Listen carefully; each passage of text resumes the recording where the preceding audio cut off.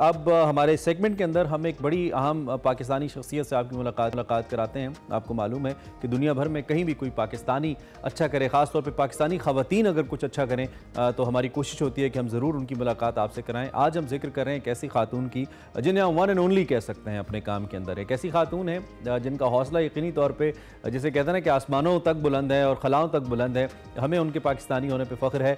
हमारी मुराद पाकिस्तान की पहली खला नवर्द खातून नबीरा सलीम से मुराद है हमारी, जो इस वक्त हमारे साथ मौजूद हैं। उन्होंने 2007 में कुतब शुमाली और जनवरी 2008 में जनूबी पर कौमी परचम लहराया। नबीरा सलीम को फ़र्स्ट एवरेस्ट स्काई डाइव 2008 के दौरान माउंट एवरेस्ट पर स्काई डाइव करने वाली पहली एशियाई और पहली पाकिस्तानी होने का एजाज़ भी हासिल है। अमन के लिए भी काम करती हैं। 2011 में सदर पाकिस्तान ने नमीरा को मुल्क के अला तरीन सिविल अवार्ड तमका इम्तियाज़ से भी नवाजा है। इसके अलावा उन्हें बैन अवी अवार्ड्स भी मिले हैं। बैन अवी अवार्ड्स भी हासिल कर चुकी हैं। And what not, I mean बेहतरीन काम कर रही हैं। एक पावर वीमेन है। उनसे हम इसी हवाले से बात करते हैं और उनका शुक्रिया भी अदा करते हैं कि उन्होंने हमें ज्वाइन किया। Nabira thank you very much for joining and such an honour to have you on Expresso आप कैसी हैं? ठीक ठाक हैं? जी अस्सलाम thank you so much for inviting great to have you जी। सबसे पहले तो हमें आ, इस अचीवमेंट के हवाले से बताइए ये बहुत बड़ी अचीवमेंट है पाकिस्तान जैसे माशरे के अंदर जहाँ पे उमूमी तौर पे ख़वातीन को काम करने का मौका भी नहीं मिलता या पढ़ने का भी मौका नहीं मिलता वहाँ पे आपने आप खला में जाके पाकिस्तान का झंडा आपने लहराया है। दुनिया की आ, चंद उन एक ख़वातीन में से हैं जिन्होंने ये काम किया है। आपको कैसा महसूस हो रहा है और ये हुआ कैसे? कैसे मुमकिन हुआ ये? ये खला में झंडा जी अभी मैंने लहराया नहीं है मेरी फ़्लाइट जो है वो फिफ्थ अक्टूबर को है जी। लेकिन 2006 में मैंने क्योंकि न्यू स्पेस एज है हमारी इस वक्त दुनिया में विच मीन्स के स्पेस फ़्लाइट जो है कमर्शलाइज हो गई है। और अब इस एज में कोई भी कमर्शियल स्पेस लाइन में स्पेस में जा सकता है हम्म। तो अभी जो मेरे लिए स्पेस फ़्लाइट है इवन दो मैंने 2006 में इसका टिकट लिया है लेकिन वो इसलिए अब हो रही है इतने सालों के बाद सत्रह साल की ये जर्नी थी बिकॉज़ हम्म। हमने एक स्पेस लाइन दुनिया में पहली स्पेस लाइन बनाई है।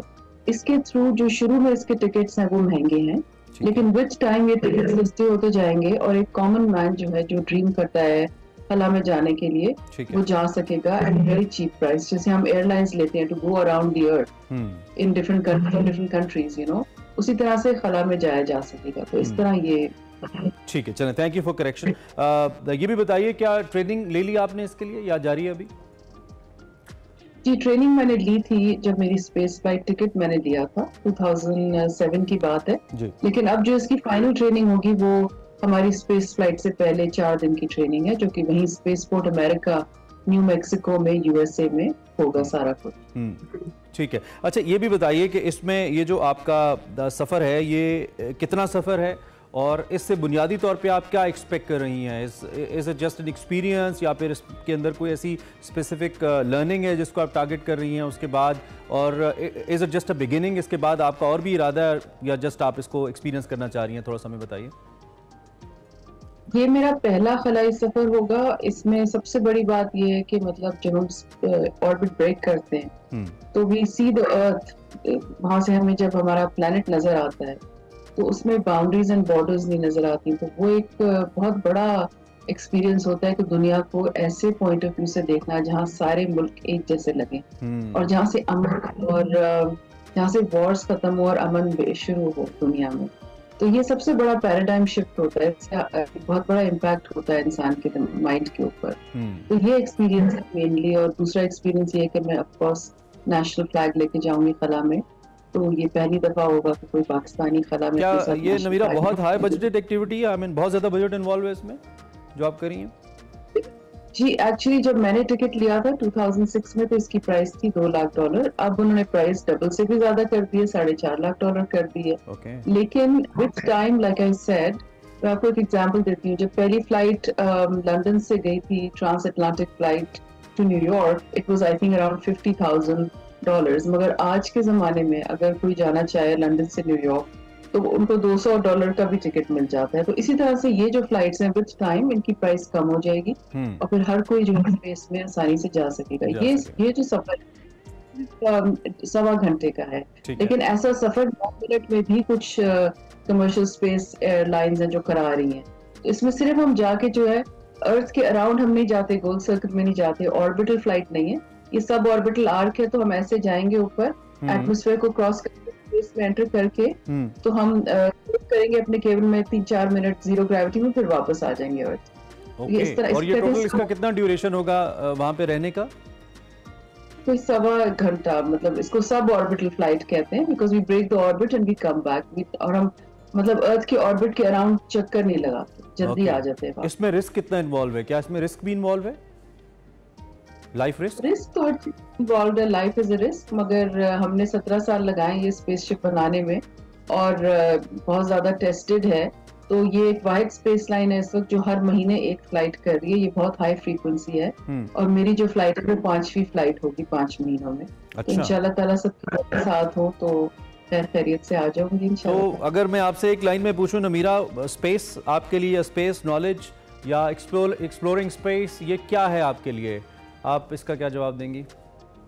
एक्चुअली स्पेस uh, के एरिया में मैं बहुत ज़्यादा काम कर रही हूँ दुनिया में। मेरी एक नॉन प्रॉफिट है स्पेस ट्रस्ट के नाम से। Okay. और uh, मेरी जो नॉन प्रॉफिट है उसका भी पहला स्पेस मिशन uh, जाएगा स्पेस में आज से लाइक दो दो साल के बाद या तीन साल के बाद। और उसको स्पॉन्सर hmm. किया है उस लॉन्च को यूनाइटेड नेशंस ने। Okay. तो स्पेस का काम मेरा ऑन गोइंग है। ये मेरी पहली स्पेस फ़्लाइट है। मुझे ऑफर्स हैं और भी स्पेस फ्लाइट्स की।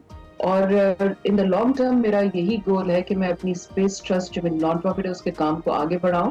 चाहे मैं स्पेस फ्लाइट्स के थ्रू करूँ या और लोगों को स्पेस में भेज के करूँ hmm. मगर बॉटम लाइन ये है कि स्पेस से दुनिया में अमन कायम किया जा सकता है और that's what I work on that's that's really true आपकी पिछले दिनों में uh, हमारे जो मौजूदा निगरान वज़ीर इतलात है गालिबा उनसे भी मुलाकात हुई है correct me if am wrong और uh, उस मुलाकात के हवाले से भी थोड़ा सा हमें बताइए। दूसरा ये कि क्या हुकूमत पाकिस्तान की आपको कोई सरपरस्ती या किसी इदारे की हासिल है? इस सारे प्रोजेक्ट के अंदर या आने वाले आपके जो मनसूबे हैं उनको लेकर uh, चूँकि इस वक्त पूरी दुनिया जो जो स्पेस है, इसके ऊपर काम कर रही है। भारत को हमने रिसेंटली देखा, बहुत बड़ी अचीवमेंट उन्होंने की। पाकिस्तान को ज़रूरत है बहुत ज़्यादा इस जाने बाने की। तो क्या हुकूमत से भी आपकी कोई बात हुई है कि इसको स्टेट लेवल के ऊपर लेके जाया जाए आगे? देखिए जी ये जो मेरी सत्रह साल की जर्नी थी, इसमें मैंने बहुत कॉन्ट्रीब्यूशन किए हैं। एज ए प्राइवेट सिटीजन मैंने सुपार्को के लिए बहुत कुछ किया है।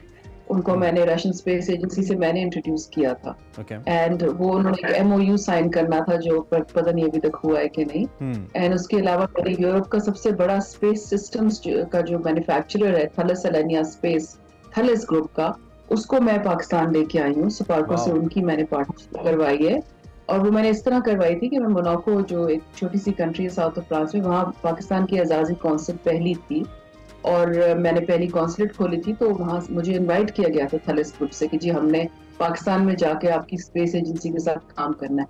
तो किया तो मैंने बहुत कुछ मगर अनफॉर्चुनेटली हमारे मुल्क में उसको रिकग्नाइज नहीं किया जाता। हम्म। तो इस वक्त जो हूँ इंफॉर्मेशन मिनिस्टर से I am very grateful to उन्होंने रिकग्नाइज किया इस चीज़ को कि 2006 में मुझे ministry of information and broadcasting ने ही इंट्रोड्यूस किया था हम्म। पूरे नेशन को फ़र्स्ट पाकिस्तानी एस्ट्रोनॉट और वो उन्होंने इट्स वेरी गुड टाइमिंग के केयर टेकर गवर्नमेंट है और मुझे उसी तरह से वेलकम किया गया और सपोर्ट किया गया और मुझे फुल सपोर्ट दिया जा रहा है मिनिस्ट्री की तरफ़ से। मुझे officially national flag hand over किया गया है from somebody very high profile and I am very proud कि मुझे officially national flag hand over किया so proud of you Namira हमें आपसे मिलकर बहुत अच्छा लगा हमारी बेस्ट विशेष आपके साथ हैं। जितना कुछ आप कर रही हैं यकीनी तौर पे काबिल सतश है। आप पाकिस्तान का प्राइड हैं और हमें बहुत फ़ख्र है और हमें चूँकि मालूम है कि आपने स्पेस को लेकर you have already sung song as well तो हम चाहेंगे हम थोड़ा सा वो भी आप के जाते जाते सुना दें। बहुत second thank you very much आपने वक्त निकाला और आप हमारे साथ मौजूद रही। नमीरा सलीम से आप मिले जी और जिस स्पेस सॉन्ग का हम ज़िक्र कर रहे हैं जिस का तस्करा है वो भी ज़रा थोड़ा सा आपको सुना देते हैं और फिर हम लाइन अप करेंगे सेगमेंट से और आपसे सेगमेंट के बाद नेक्स्ट सेगमेंट मिलेंगे आपसे।